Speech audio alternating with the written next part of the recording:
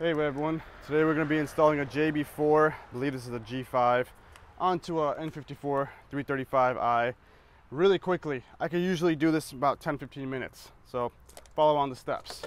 Step one is going to be removing all your cowl and all that, which you'll need an 8mm for. This car doesn't have a cowl, so we're going to skip that step.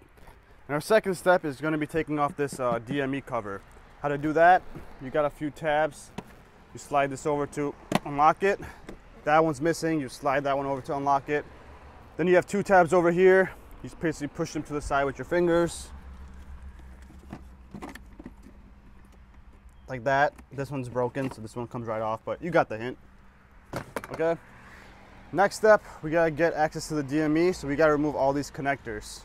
One, two, three, and four. This one I'm gonna use my pocket screwdriver, which is my second tool you'll need for the video. And to do that, all you gotta do is slightly pull up on these wires, push in, push in, and it comes right up, all right? Lightly pull, push in, push in. Oops, I didn't grab the right one. Lightly pull, push in, push in, comes up, push in. You get the hint, all right? And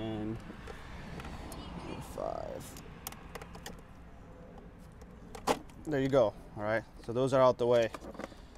Next, we're gonna pull up on the DME itself. Push down on that, pull up on that. There's two little clips as such.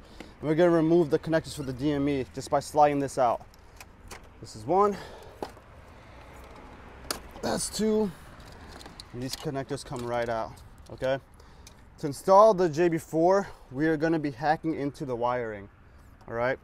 So on the larger connector, you got the white connect, uh, the white, whatever harness on the right side and the black harness on the left side. All you gotta do, again, you're gonna grab the wire, kind of give forward pressure. This little tab, just move it out the way a little bit, and then it comes right out as such. Boom, and like that. All right, that's the first connector. This connector, since it's smaller, we'll have to remove this sliding mechanism. How to do that is you just take your screwdriver, put it right here, pry out a little bit. Same thing on the other side, pry out a little bit, and it comes right out, as so.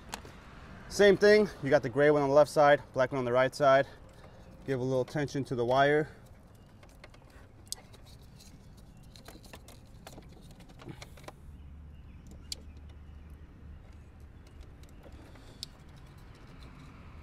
And right over here to the side. And these two come right off as well, all right? Once you get those off, you're now ready to put the JB4, uh, tap the JB4 into the harness. this one was the left side one, right? So you see this arrow, how it's going to the left, how this arrow is pointing, saying, hey, this goes in like that. You want this arrow to be facing the same way when going in. So it gets kind of confusing because people want to do this, but you see how the arrows are facing opposite ways? You just got to flip this around so the arrows are facing the same way. You match up the pins and just put it in like that. That one goes like that. Where's the other connector? This one right here. Again, the arrows have to be facing the same way, like that. So I'm gonna go like that, rotate it 180. Boom, all right. We are now tapped in. Now you take this and you put it back in to the connector. So the black one again on the right side, pushes in. Gray one's on the left side, pushes in. All right. That side's done. I could put this back on.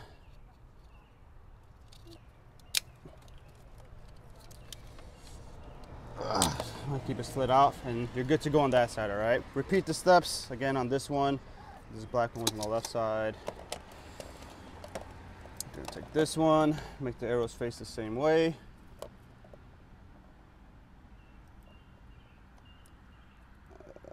Okay, there you go. Some of these pins are bent. This is a used one, but. And this last but not least, this connector. Arrows are facing the same way now. That goes in and slide these back in place. This one goes here. That one goes here. that easy. We're pretty much done with almost the whole install. Our last step to install this is hacking into the power wire for the JB4 so it can get power. We're gonna go to this connector right here. All we gotta do is same thing, slide, slide, move this connector out the way. Ooh. There you go. And then we're gonna slide this piece up right over here. I think that just one slides up like that, okay? Pin two is what we're gonna be hacking into. So pin two is right over there. If I flip this connector, we know that pin two is this one right over there. So the top left if you're facing it this way. All right, that's just how it works. So we're gonna come over here. I'm gonna take off this little cover.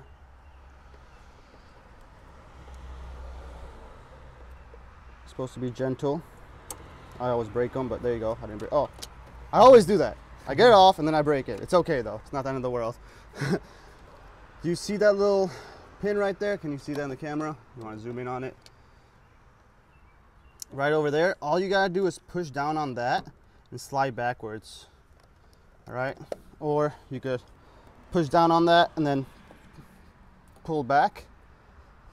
And voila, it comes off that easily, okay? So now you probably see it a little better. All you're doing is pushing down on that so it releases itself.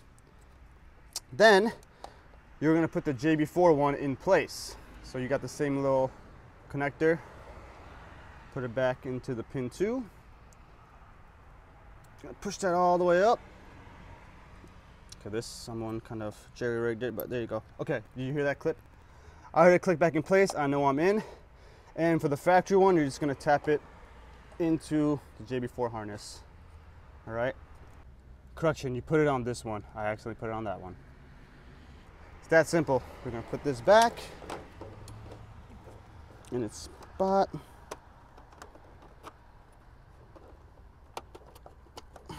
And put the connector back in. And the JB4 is pretty much installed. Let's put the ECU back in.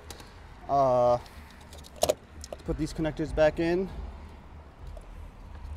So again, raise the DME up. Put the connectors back in, you just push in a little bit, and then when you push into the this portion, it'll bring it down and seal it in place.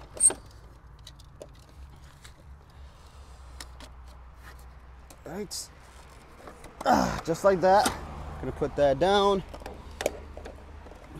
connect this, connect this,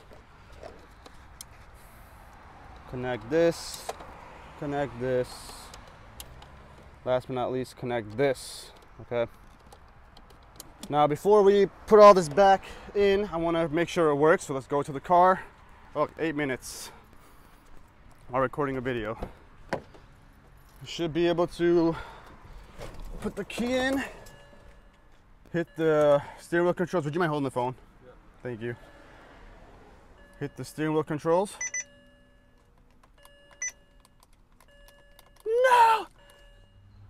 We had a little hiccup because these buttons stopped working, but we just got it to work. So the JB4 is attached correctly, minus obviously my power wire issue. We're gonna see if the car starts. There you go. So we know the JB4 is working. We just gotta fix this button control now, but right here you can see you can go through all the menus and etc all right we know everything's working our last step is just to tuck everything away usually i like sliding this in here a little compartment trying to push everything down and then the cover goes back on again this cover is broken but you got the idea move it move it around you can get it to fit perfectly it just takes a little bit of messing around with and uh, yeah put your cowl back on if you have that this clip this thing right here will clip in that clips in, you just push down like that.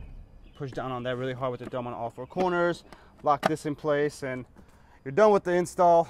Everything will work.